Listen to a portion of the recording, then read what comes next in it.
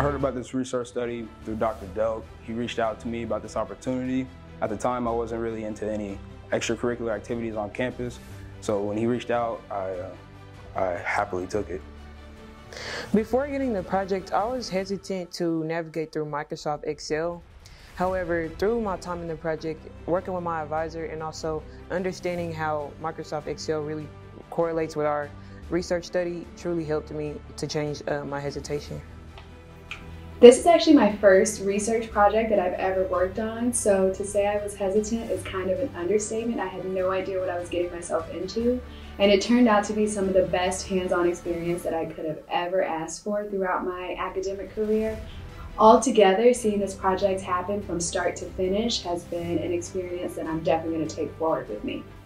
I really enjoyed being able to challenge myself each and every single day by making sure that I was working out, that I was eating healthy, and that was that I was participating with other members participating in the project, and hearing about what was their experience.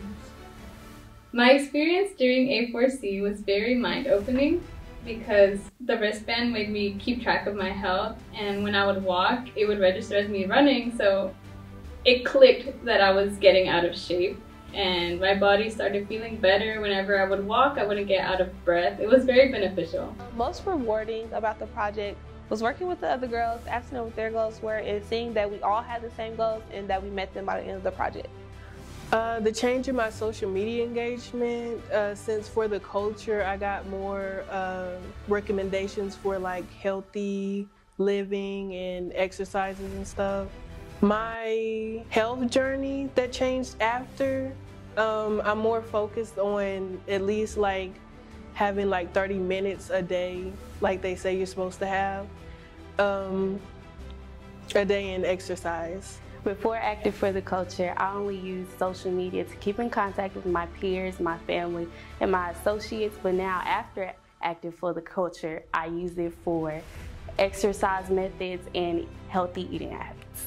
My overall experience as a student researcher was very positive. Um, I'm so thankful the, to have had the experience, and I know that it's going to make me more competitive as a future employer and a potential graduate student. Being able to work in a group is a, a skill that I was able to acquire while doing this research study because in the work field and uh, whenever you leave college and all that stuff, so you're going to be able to work in a group. Like you're not going to be by yourself working alone. You're going to be in a group. So being able to do that was key for me. My overall experience here has been incredible. Um, I never thought that I would be on this end of kind of social research and how it doesn't have to be always be super high level, but sometimes you know you can work with information that you have right here and with the people that you have right here to find ways to be impactful in other people's lives. During A4C, I really used, it was really transformative and motivating. I actually paid attention to my health. My experience doing A4C was really fun. Um, I competed in a pageant, so I wore like my wristband during the practices during those times. So my steps and like um, what I was doing during the day were really improving and going up a lot.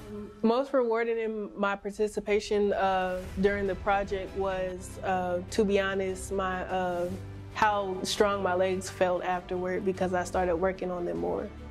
During A4C, I learned that I actually do a lot of physical activity without realizing it.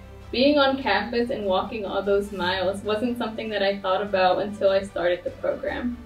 We looked at Hispanic and black women, therefore you know we have to look at the experiences of uh, black and Hispanic men, the college men. So that's kind of one of our next iterations of this uh, project as well. We also want to see if those social support networks um, assist faculty so we'll look at faculty and minority serving institutions such as University of Houston, which is a Hispanic serving institution, and Langston University, which is a historically black university. So we're trying to expand that, looking at the different groups. Uh, we're going to create new content uh, that caters towards these specific these specific groups.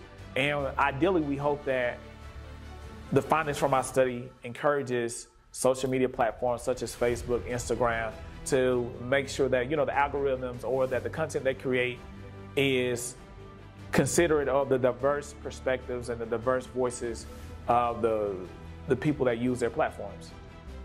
The motivation behind the project was to explore whether social media could be used as a positive space for Black and Latino women. We know from the research that Black and Latino women are marginalized, particularly in these online spaces. And so we wanted to know if there were any opportunities to create culturally sensitive spaces where these women can go and not only get social support, but also to have opportunities to gain information about health, physical fitness, and mental awareness.